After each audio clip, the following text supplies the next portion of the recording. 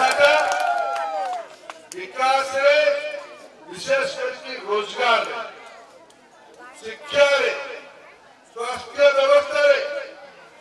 તળાળુ એક નંબર ହେଇଛି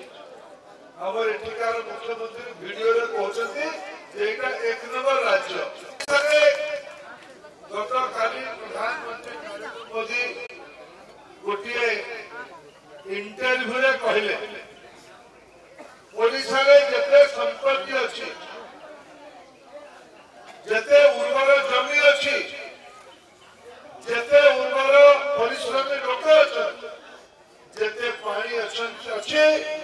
ଯଦି ଯୋଜନା ଠିକ ସେ ହବ ତାହେଲେ ଓଡ଼ିଶାଟା ଭାରତର ଏକ ନମ୍ବର ରାଜ୍ୟ ହବ ଏକ ନମ୍ବର ରାଜ୍ୟ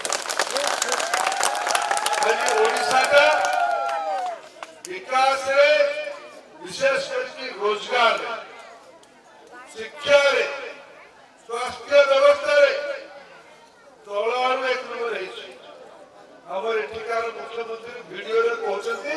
যে এটা এক নম্বৰ ৰাজ্য যদি আপোনাক আমা ভিডিওটি ভাল লাগিলা তেতিয়া আমা চানেলক লাইক শেয়ার আৰু সাবস্ক্রাইব কৰিবাকো জমাবি বুলন্ত নাই